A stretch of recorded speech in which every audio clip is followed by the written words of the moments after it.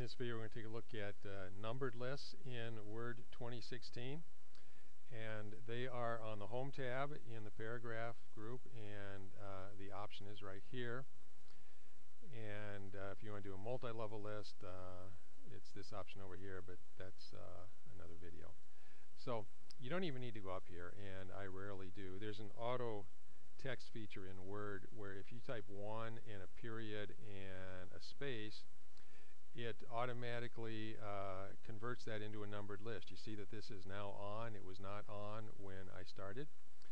And it also um, indents the list a little bit, a quarter of an inch to get to the number and another quarter of an inch to get to whatever text it is that you're going to type. And the little autocorrect lightning bolt comes up here with your autocorrect options. And if you don't want to do that, you can turn that off um, or undo it for this time. Uh, you can turn it off completely and it'll stay off until you turn it back on again or you can actually go in here and control your auto format options and you'll get this dialog box that has lots of options for doing auto formatting. So here it is and we have uh, replace as you type and there's an option here for automatic numbered lists. There's also one for automatic bulleted lists. We talked about that in a different video. And so you can turn this off and it will not do numbered lists until you turn it back on again. Um, I think this is something you probably want to leave on. Uh, you know, most of the time if you type a number and a period and a space, you're at the beginning of doing a list. So uh, that's where it is.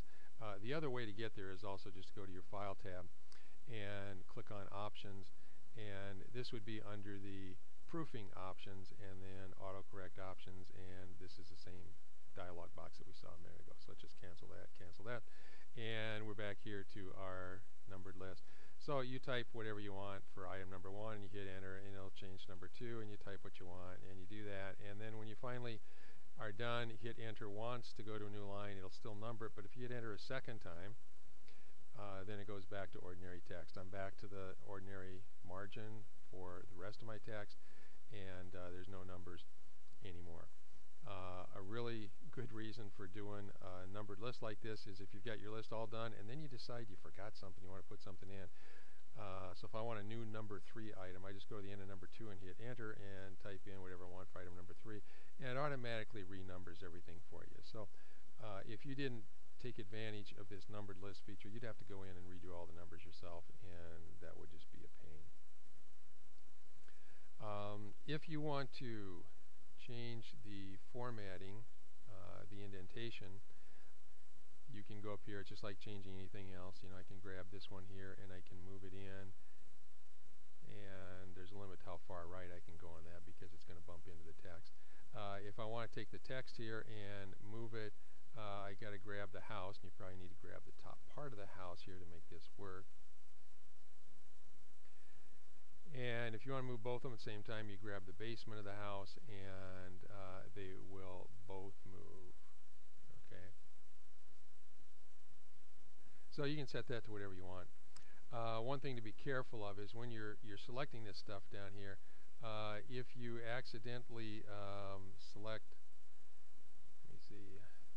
working right now, but sometimes you can accidentally select this stuff and um, you know start clicking and dragging and if you do uh, it'll end up moving everything for you and uh, that's something you probably don't want. Um, there are some other uh, options here. Uh, if you do, uh, there's several options for uh, numbers. If I do one, uh, and I write parenthesis and a space, you know, then it'll do uh, an automatic numbered list for me. If I do one, uh, a parenthesis, one parenthesis, and a space, uh, it'll do them like that, which is another common format for numbered lists. Uh, you can also do letters of the alphabet, capital letter, and let's uh, do that again. and you've got the same options here for capital letters if I do parentheses, you know, and stuff like that. Um, you can also do Roman numerals. Uh, you can do one period or an I period, I guess, in a space, and now it'll do capital Roman numerals for you. Uh, you can also do lowercase Roman numerals and one period space and uh, not one, it's a lowercase i. And then uh, we'll back up to delete that. So there's quite a few autocorrect options.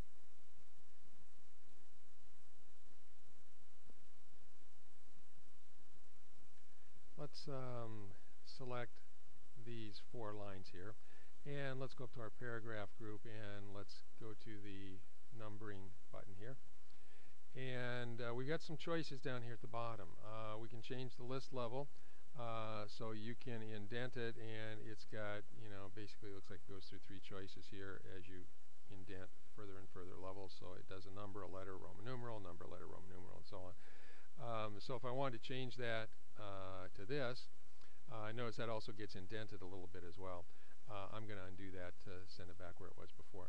Uh, another way to do that is to click on the increase indent button up here and you click on that and it will just uh, actually that does not do the same thing does it because I've got all of them selected um, let's try that again okay now I'm back where I started uh, but if I have one of them selected like that and I click on the increase indent level then it will change this to a sub item underneath the previous item so sub item would be the letter A and let's undo that uh, let's go back here, click on the down arrow, and uh, define a new number format. Uh, if uh, for some reason uh, you don't want the period or the parentheses, uh, let's say you wanted a couple of hyphens there, okay? Well, you can go in here and you can edit it. So I deleted the period, I added two hyphens, I click on OK, and everything in this list now is a number followed by two hyphens and a tab character.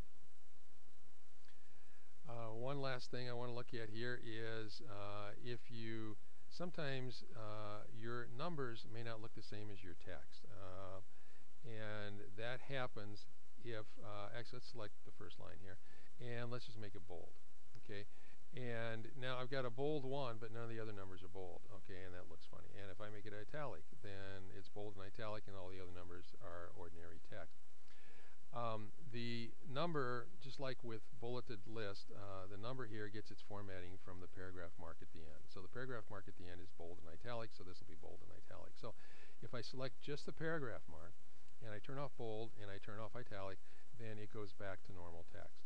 And now I've got a numbered list where all the numbers are formatted the same, which is what I think you always want when you're doing something like this.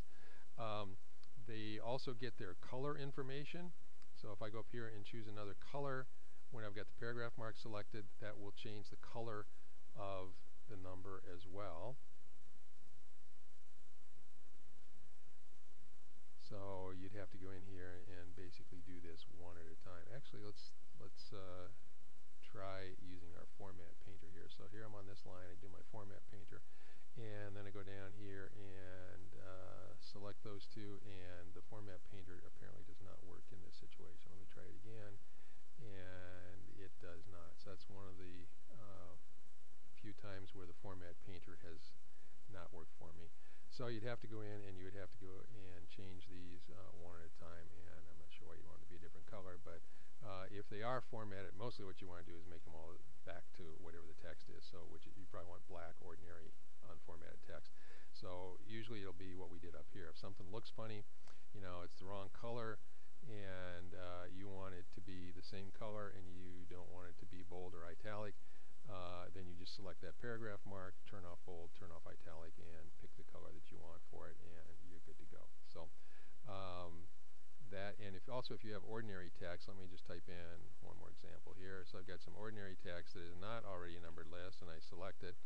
Um, so let's select all that. And then I go up here and I click on a numbered list. Actually, I don't need to click on the down arrow. I just click on the button to the left of the arrow and it will create a numbered list. Now, because this was right below the other stuff here, it keeps on numbering with 6. And, you know, if, if I wanted this to be a new list, which would look kind of funny, I think, right here. Um, so I hit enter a couple of times. So if I want this to be a new list, um, I can go up here and I can click on the down arrow and I can set the numbering value and I can have this list start with whatever I want to start with. So let's say I want another list that starts with 1, and so that's how you can have multiple uh, lists that all have their own numbering scheme.